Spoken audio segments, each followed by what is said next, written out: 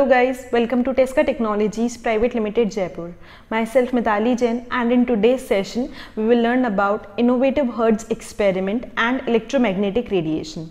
Order code is 2122458.1. In this experiment, it is involving an induction coil and a Leyden jar and to create the electromagnetic waves and spark between these two brass spheres to detect them. These brass spheres are charged with DC to DC converter starting with 3.7 volt. The maximum potential over 105 volt can produce a spark in the air.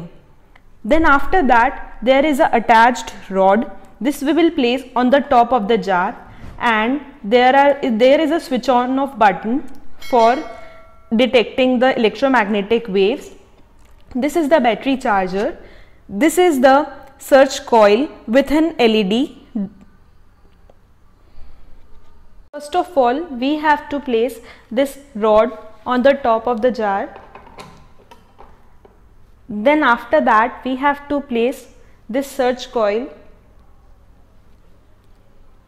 Then we have to turn on the power button. This is the power button.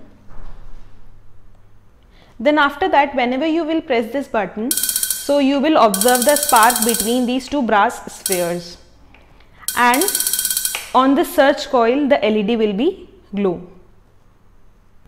So closely you can observe that a green LED is glowing. And for further query, you can contact to Tesca Technologies Private Limited Jaipur and you can also refer to our user manual.